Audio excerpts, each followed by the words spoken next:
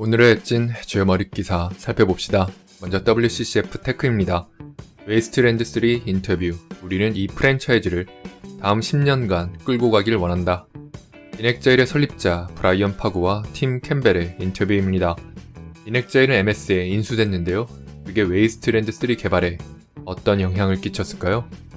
파고는 자기 인생 처음으로 게임의 품질을 모든 부서에 걸쳐 높일 수 있게 됐다고 말했습니다. MS가 호환성 테스트, user 리서치, 기타 등등 개발 지원을 해주는데요. 그전 독립 회사일 때는 해본 적 없는 것들이었습니다. 캠벨도 게임 개발의 가장 힘든 시기는 후반 10%라고 말했습니다. 그리고 바로 그 부분에서 MS가 놀랍도록 많은 도움을 줍니다. 한 예로 Wasteland 3는 모든 대사 한 줄 한 줄을 모두 성우 녹음할 수 있었으며 심지어 lip syncing도 구현할 수 있었습니다. Wasteland 3는 프랜차이즈 처음으로 multiplay도 지원합니다. 2인 협동 모드를 지원하는 건데요. 플레이어는 캐릭터를 바꿀 수도 있고 파티를 나눌 수도 있으며 게임 진행을 함께 할 수도 있습니다. 친구랑 같이 게임을 하다 나머지 부분은 각자 싱글 게임으로 진행할 수도 있고 또 그렇게 각자 하다가 나중에 다시 합쳐서 플레이할 수도 있습니다. 싱글과 multi를 자유자재로 오갈 수 있는 겁니다. 이런 것도 가능합니다. 친구랑 같이 게임하다가 나는 자러 갔고 친구는 계속 게임을 진행했습니다. 다음날 아침에 게임에 들어가 보니 게임 세계가 엉망이 돼 있습니다. 친구가 거지 같은 선택으로 게임을 망쳐버린 겁니다. 그게 마음에 안 들면 친구랑 합류하기 전 save point로 돌아가서 그냥 다시 혼자 게임하는 것도 가능합니다. 물론 그냥 망한 세상에서 계속 게임을 할 수도 있습니다. 게임 분량은 Wasteland 2보다 길 겁니다. 하지만 워낙 많은 선택이 가능한 게임이라 스타일에 따라 아주 짧게 게임을 끝낼 수도 있고 길게 끝낼 수도 있습니다. 게임의 사후 지원은 열심히 할 생각입니다. 새로운 레벨, 추가 스토리, 추가 무기 등 많은 컨텐츠를 지원하고 싶다고 하네요. 올해 말에 DLC 계획을 발표할 예정입니다. MS에 인수돼서 좋은 점 중 하나가 앞날을 미리 계획할 수 있다는 겁니다.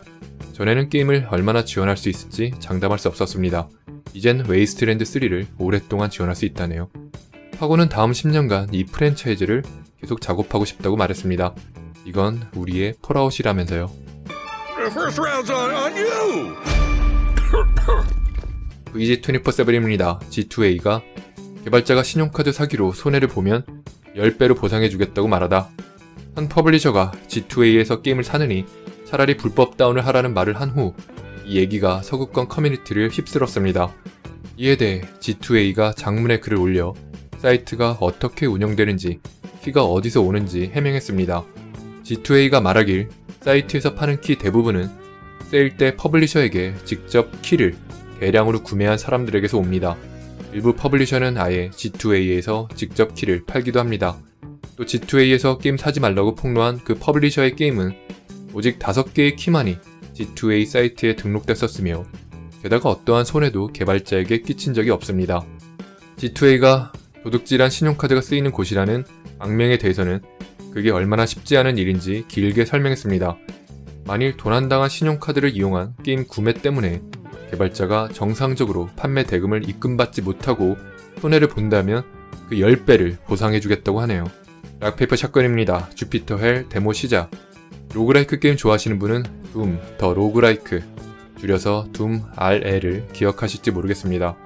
한쪽엔 Dungeon Crawl Stone Soup가 있고 한쪽엔 Doom RL이 있을 정도로 매니아층이 많은 roguelike 게임이었습니다. 주피터 헬은 둠 RL의 정신적 후속작을 자처하는 게임인데요. 이번에 데모를 공개했습니다. 스팀 데모 키를 받을 수 있는 방법을 기사에서 설명하고 있습니다. and more permadeath. Procedural levels. Brutal difficulty. And of course, permadeath.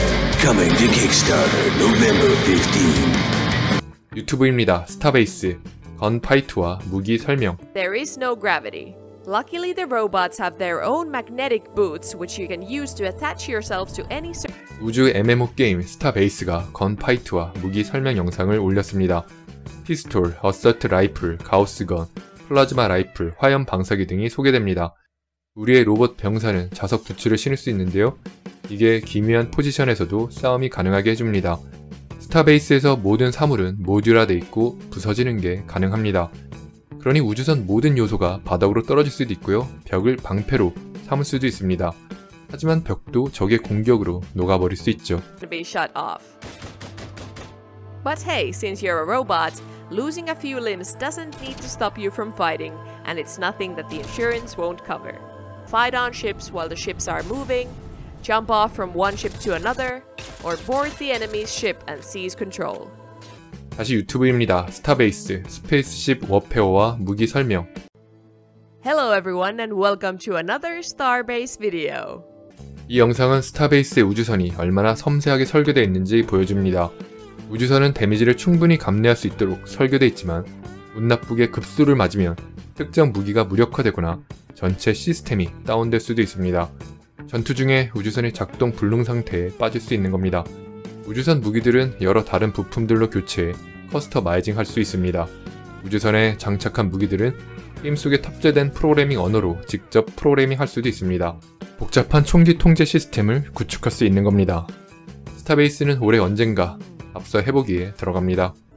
Autocannon, a fast firing weapon with a wide spread. Laser cannon, an energy weapon generally used to take out fast and agile ships. Plasma thrower, an energy weapon with a slower fire rate but deals fracture damage. Rail cannon, a powerful weapon that requires a charge up. Swarmer missile weapon, which shoots a swarm of small fast missiles. 또다시 유튜브입니다. 스페이스랜드 발표 트레일러. 스페이스랜드는 엑스컴, 인큐베이션, 레이저 스쿼드의 전통을 부활시키고자 하는 턴제 전략 게임입니다. 전투는 엑스컴에서 강하게 영향받았지만 엄폐물의 비중은 적고 액션의 비중이 높습니다. 우리는 쏘고 차고 날려버리고 깨부수며 mutant에게 지옥을 선사해야 합니다. 그리고 신비한 행성의 비밀을 밝혀내야 하죠. 각 챕터의 마지막에는 보스전이 기다리고 있을 겁니다. 게임은 2019년 언젠가 출시합니다.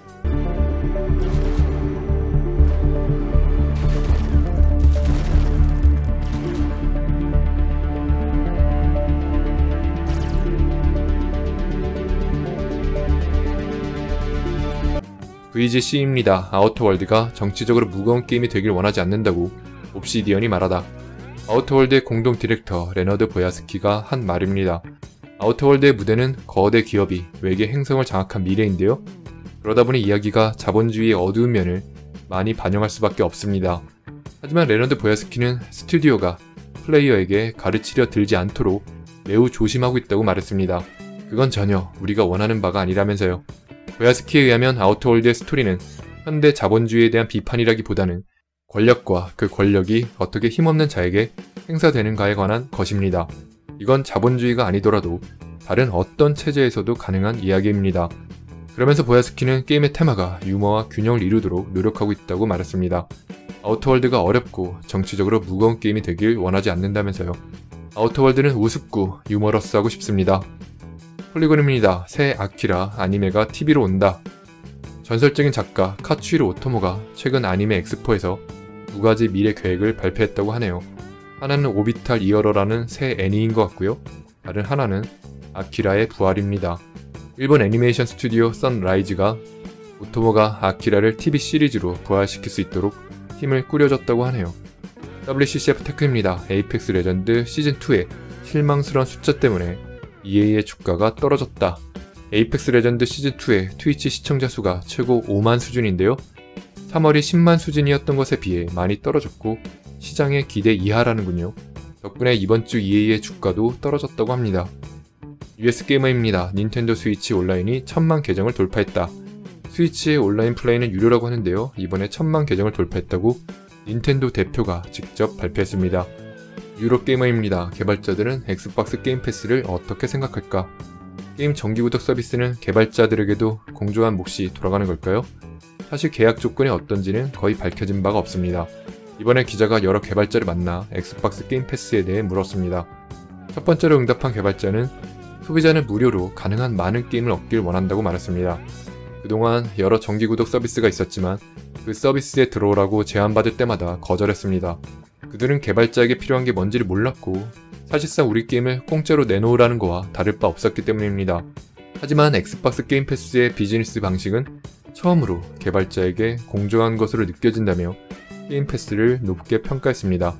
게이밍 볼트입니다. 게임 패스는 괜찮은 비즈니스 모델이나 우린 충분한 몫을 받고 있지 않다고 전 파라독스 CEO가 말하다. 전 파라독스 CEO이자 현 집행이사인 프레드 웨스터는 엑스박스 게임 패스가 괜찮은 모델이나 특정 개발사는 충분한 몫을 받지 못하고 있다고 말했습니다. 소비자가 게임을 플레이한 시간에 따라 돈을 받지 못한다는 뜻에서 한 말입니다. 파라독스의 소비자들은 한 게임에 3,000시간, 4,000시간씩 쏟아붓습니다. 근데 아마 엑스박스 게임 패스는 플레이 시간에 따라 개발사에게 돈을 지불하는 건 아닌가 봅니다. 우리 소비자들은 스토리 중심 게임보다 더 많은 시간을 게임에 쓰는데 우린 우리 몫을 충분히 받지 못하고 있다고 웨스터는 말했습니다. 모험내 어드벤처입니다. 모험너 시청자 도움으로 또 한 퍼즐 해결하다. 제목 그대로입니다. 푸, 이거 설마 되나? 이거 설마 되나요? 진짜 진짜 어려웠다 이거.